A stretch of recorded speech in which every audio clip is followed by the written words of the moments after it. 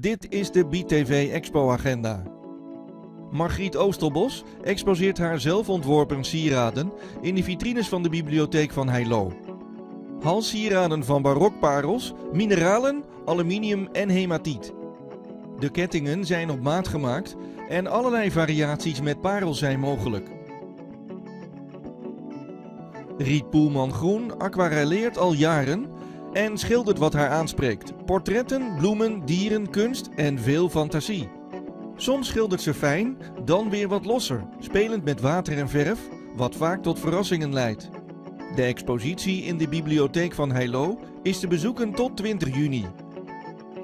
De gemeente Heilo heeft samen met archeoloog Silke Lange een informatietafel ingericht in de bibliotheek over de archeologie van Zuiderlo.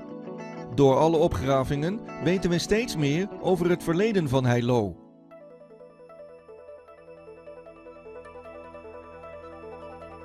Tot en met 17 juni exposeert Katja Berkenbos papierkunst in de abdij van Egmond.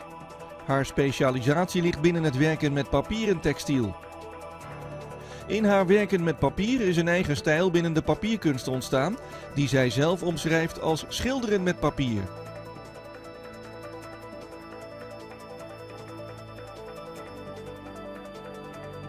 Tot en met 14 juni plaatst Expo 72 in Alkmaar met de tentoonstelling Lentepoëzie het werk van zes beeldende kunstenaars in een poëtische voorjaarszon. Deelnemers Madeleine Leddy, Ursula Neubauer, Theresa Verket, Michiel Hertroys, Ton Voermans en Irene Grijzenhout zijn aangesloten bij het kunstenaarscentrum Bergen. Expo 72 is een samenwerking van kunstenaars ontstaan in de galerieruimte van de sociaal-culturele broedplaats Koel 310 aan de Koelmalaan in Alkmaar.